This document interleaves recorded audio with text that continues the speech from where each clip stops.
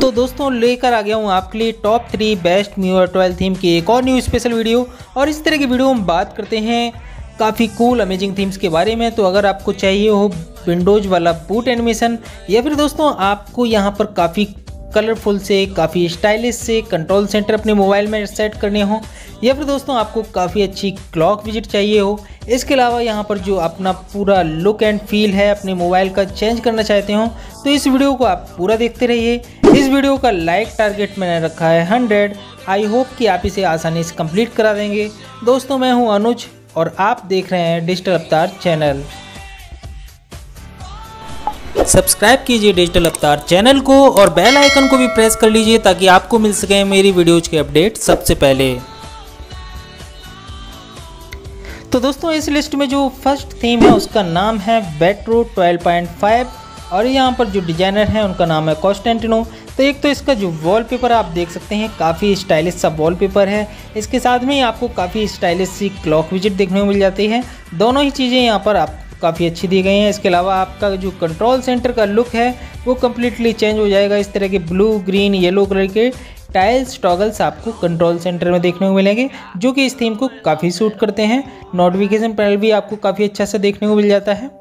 इसके अलावा दोस्तों, बात करें डायल पैड लुक की तो ये सिंपल सा डायल पैड लुक आपको इस थीम के अंदर देखने को मिल जाता है। अब यहाँ पर दोस्तों, जो इसका सेटिंग वाला यूआई है, वो भी आप देख सकते हैं। तो सेटिंग वाला यूआई जो है, यहाँ पर आपका डिफ़ॉल्ट साइज़ देखने को मिलता है।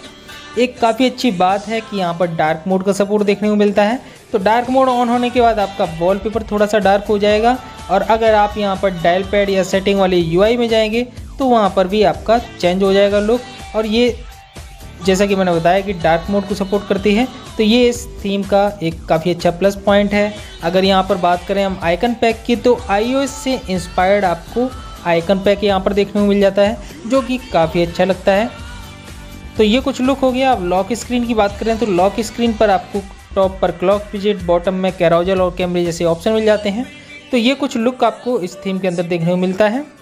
अब इस लिस्ट की जो सेकंड थीम इसका नाम है वेट्रो 12.5 डिज़ाइनर का नाम है कॉस्टेंटिनो और ये थीम स्टोर पर आपको मिल जाएगी, या फिर तो आप इस थीम के नाम से सर्च कर सकते हैं, या डिज़ाइनर के नाम से भी सर्च कर सकते हैं। इसका भी वॉलपेपर जो है, वो मुझे काफ़ी पसंद आया। इसके अलावा टॉप पर काफ़ी अच्छी सी क्लॉक पिचट मिल जाती है। और यहाँ अगर हम बात करें कंट्रोल सेंटर की तो यहाँ पर control centre one of the best है। देख पा रहे होंगे, काफ़ी ग्लोइंग है। यहाँ पर जो टाइल्स टॉगल्स दिए गए हैं, काफ़ी अच्छे हैं। ब्राइटनेस स्लाइडर आपको पिंक कलर का देखने को मिल जाता है। तो काफ़ी अच्छा लगा है मुझे ये कंट्रोल सेंटर नोटिफिकेशन पैनल की बात करें तो आई स्टाइल का नोटिफिकेशन पैनल देखने को मिल जाता है। अब यहाँ पर डायल पैड की बात कर लें तो ये कुछ लुक मिलता है आपको डायल पैड का।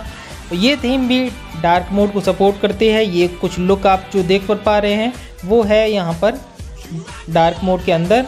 क्लॉक विज़िट में भी एनिमेशन है, साथ में इसका जो आइकन पैक है, ये भी आपको काफ़ी पसंद आएगा। जैसा कि आप यहाँ पर देख पा रहे होंगे, काफ़ी अच्छा आइकन पैक भी इस थीम के अंदर देखने को मिल जाता है।